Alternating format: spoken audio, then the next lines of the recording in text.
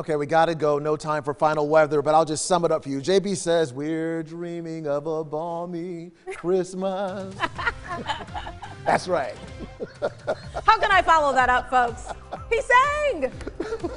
we'll see you again tomorrow.